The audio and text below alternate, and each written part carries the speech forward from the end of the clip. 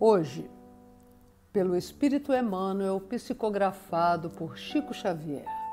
Leitura 19 Festa íntima.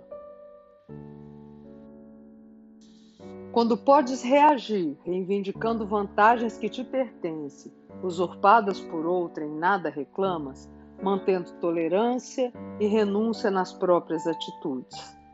Quando ouves referências que te ferem a vida particular, e guarda silêncio.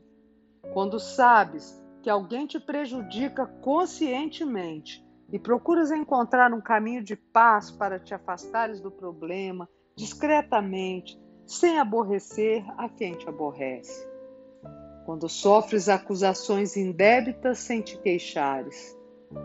Quando atravessas difíceis provas domésticas e sociais, sustentando os que te cercam, sem entender as complicações de que te vês objeto.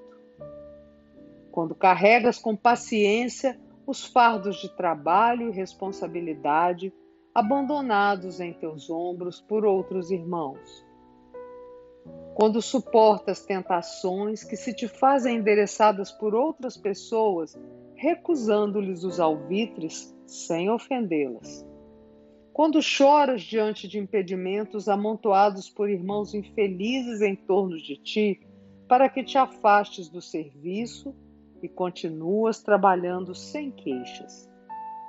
Então, haverão chegados ao teu favor os instantes de festa íntima, uma vez que, em todas as ocasiões nas quais superamos as próprias inferioridades, alcançamos um degrau acima na conquista de nossa própria sublimação.